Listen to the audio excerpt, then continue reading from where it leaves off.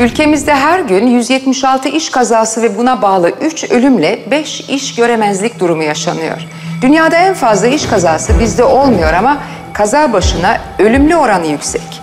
Halbuki uzmanlara göre iş kazalarının %98'inin önlenmesi, hele %50'sinin kolaylıkla önlenmesi mümkün.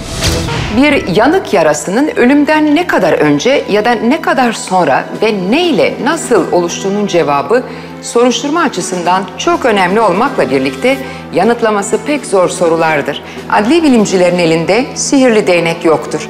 Bütün soruları şüpheye mahal vermeyecek kesinlikle yanıtlamak her zaman mümkün olmaz. Afgan eroini başımızın belasıdır.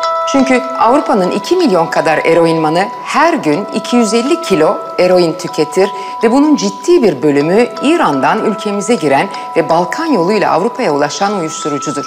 İnsanüstü gayretlere ve İran başta gelmek üzere binlerce polis, asker ve gümrükçünün can vermesine rağmen hiçbir ülke piyasasındaki yasa dışı uyuşturucunun yüzde otuzundan fazlasını yakalayamıyor.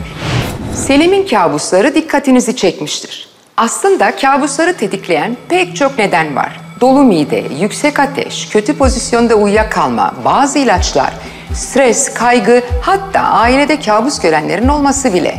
25 yaşından büyükseniz ayda bir, küçükseniz haftada bir kabus görmeniz normal. Ama tekrar tekrar çığlıklar, gözyaşları, çarpıntı, ter ve korku içinde yataktan fırlıyorsanız, üstelik kabusunuz başınızdan geçmiş kötü bir olayla ilgili ise mutlaka bir doktora görünün. Bir olay yeri inceleme uzmanının çevrede boş içki şişeleri ve bardakları görmesi, kurbanın yakınlarında alkol kokusu almış olması ve bunlardan yola çıkarak sarhoş olduğu sonucunu çıkarması sadece bir varsayımdır.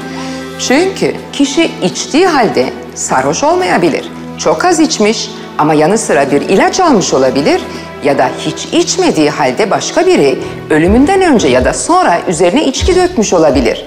Özetle hiçbir şey apaçık ortada göründüğü kadar aldatıcı değildir. Post tefeciler ülkenin her yanını sarmış durumda. Onlara göz açtırmamaya çalışan Mali Suçları Araştırma Kurulu MASAK'a göre kara para aklama ve terörün finansmanıyla mücadeleye dönük öncül suçların başında post tefecilik ile uyuşturucu kaçakçılığı geliyor. Alkol ve uyuşturucu maddelerin etkisi konusunda genelde pek çok şey bilinir de örneğin kokain ve alkol birlikteliğinin ne kadar tehlikeli olduğu bilinmez. Ayrı ayrı kullanıldıklarında ölümcül olmayan dozlarda alındıkları halde bir arada tüketildiklerinde ani kalp durmasına neden olurlar. Kızlık zarını saflığın ve el değmemişliğin kanıtı olarak görenler bir tıbbi gerçeği kafasına kazımalı.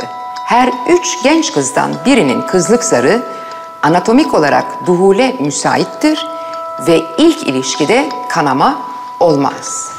Birinin başı ağrıyordu, diğeri tırnaklarını yemekteydi. Bu bölümde tanık olduğunuz mucizelerden ikisinin sebebi işte bu rahatsızlıklar. İlki Hüsamettin'le yumruklaşan Talat'ın burnundan damlayan kan. Hemoglobine bağlı kükürt fazlasının migren ilacı kaynaklandığını saptayan laboratuvar sayesinde polislerimizin Talat'a ulaşması mucize değil de nedir? İkincisi Acar'ın boynundaki tırnak izleri. Gürsel Acar'ın boğazına sarılırken tırnak yeme alışkanlığından kurtulmak için kullandığı kimyasalın adamın tenine bulaşacağını ve bunu laboratuvarcıların bulacağını akıl edebilir miydi dersiniz? Unutmayın, kusursuz cinayet yoktur.